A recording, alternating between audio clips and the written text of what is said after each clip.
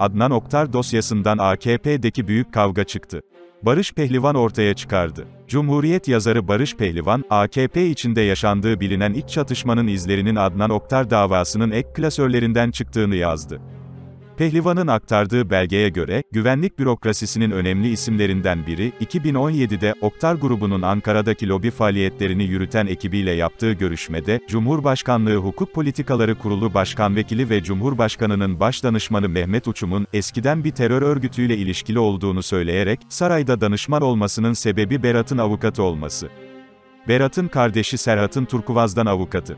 Bu vesileyle danışman oldu, dedi. Söz konusu güvenlik bürokratı, 2017 referandumuyla ilgili olarak Erdoğan'ın kandırıldığını da iddia etti. Belgelere göre, Erdoğan'ın o günkü eyalet çıkışlarına izin vermesinin sebebi de referandumla ilgili kendisine vaat edilenlerdi. Pehlivan'ın yazısının tamamı şöyle. Şimdi, Mehmet Uçum'un katıldığı televizyon programının ardından AKP'den hatta saraydan ardı ardına tepki verildi ya, görünce aklıma nedense bu notlar geldi. Sanki kavga aslında çok eski. Her yerde operasyon, her yerde kirli çamaşırlar. Sürekli yeni şeyler duyuyoruz. Oysa bazı soruşturmalarda hiç gündeme gelmeyenler var, heyhat birilerini kızdırır diye iddianamelere de konmuyorlar.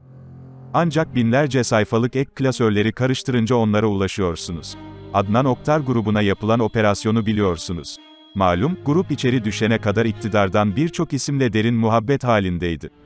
Oktarcılar güç sahipleriyle hem yakın duruyor hem de onlar hakkında kullanılacak malzeme topluyordu.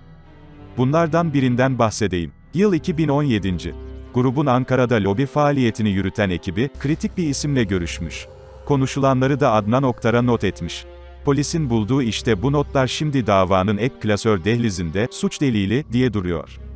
Notlardan anlıyoruz ki Oktarcılara konuşan kişi güvenlik bürokrasisinden biri. Ne garip, onlara, sizinle aynı görüşü paylaşıyorum. Birkaç kez onun için sizinle bir araya geliyorum, diyebiliyor. Kendisini tanımlarken de, sosyal demokratım ama Tayyip Bey'e hayranlığım var ifadelerini kullanıyor. Sonra, kimlere dair neler anlatmıyor ki? MHP'den Melih Gökçe'ye kadar birçok kuruma ve kişiye dair ağır sözler havada uçuşuyor. Tabii bu iddialar da kelime kelime Adnan Oktar'a iletiliyor. Sonra, söz dönüyor dolaşıyor Cumhurbaşkanlığı Hukuk Politikaları Kurulu Başkan Vekili Mehmet Uçum'a geliyor. Onun eskiden bir terör örgütüyle ilişkili olduğunu iddia ettikten sonra şunu diyor. Sarayda danışman olmasının sebebi Berat'ın avukatı olması. Berat'ın kardeşi Serhat'ın Turkuvaz'dan avukatı. Bu vesileyle danışman oldu. Anlıyoruz ki güvenlik bürokratıyla oktarcıların buluşması 2017 yılındaki referandumdan hemen sonraya denk geliyor. Notlara bakılırsa, konuşan kişi o döneme dair şöyle diyor. Tayyip Bey Türkiye için çok gerekli birisi ama etrafı kurt dolu. Referandumda danışmanlar, uçumlar onu çok yanlış bilgilendirdi. Efendim %70-80 gösteriyor araştırmalar, siz Avrupa İsrail ile çatışın, gerisini bize bırakın, dediler, kandırdılar. Nasıl da unutuyoruz, referandum sonrası eyalet sistemine geçileceğini söyleyen Cumhurbaşkanı danışmanları olmuştu.